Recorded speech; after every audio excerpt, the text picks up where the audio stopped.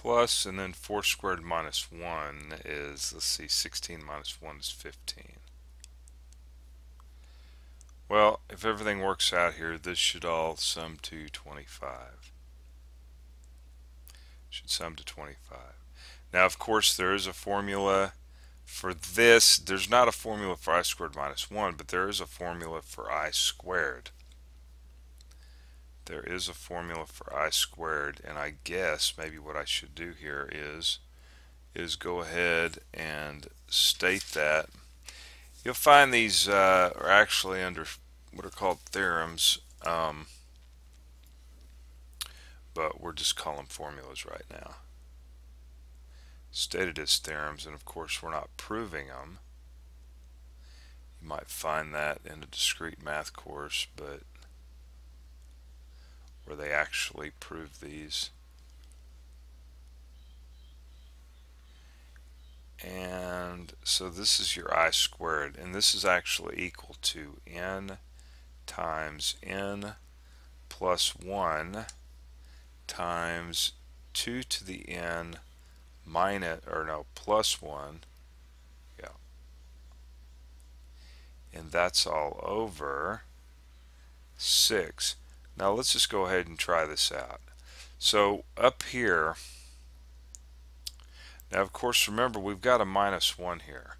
Okay, so we got to keep that in mind, but that's okay.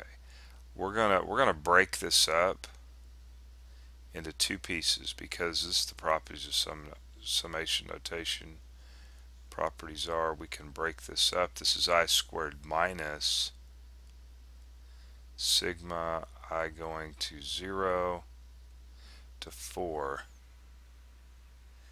and I think I just noticed something but that's okay. And then minus 1 alright now we're going to 0 here.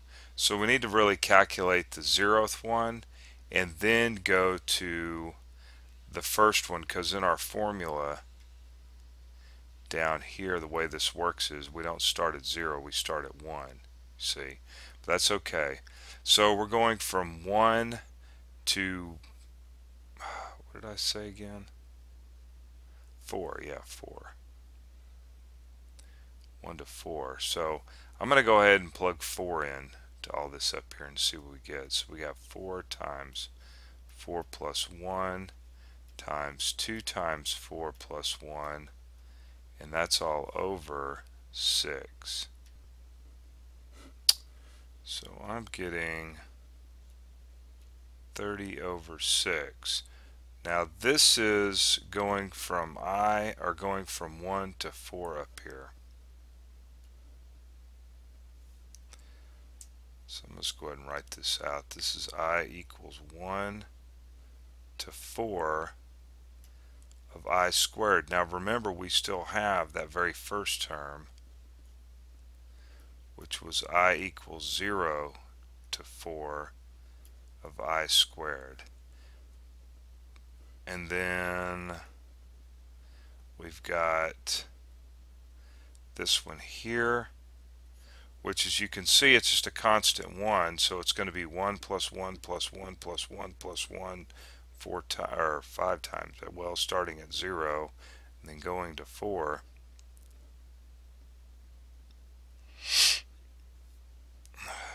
and it's a minus sign actually right here. I'm going to do, so we would have this. What the heck? 1 plus 1 plus 1 plus 1. 1, 2, 3, or think of this 0, 1, 2, 3, 4. So there's really five of them here, right?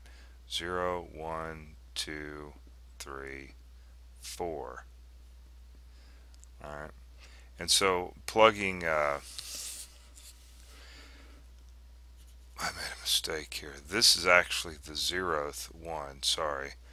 In other words, we're just plugging 0 in for the very first term, 0 squared. Okay, 0 squared is 0, so that's nothing. And we said this was 30. And then we're subtracting off um, 1,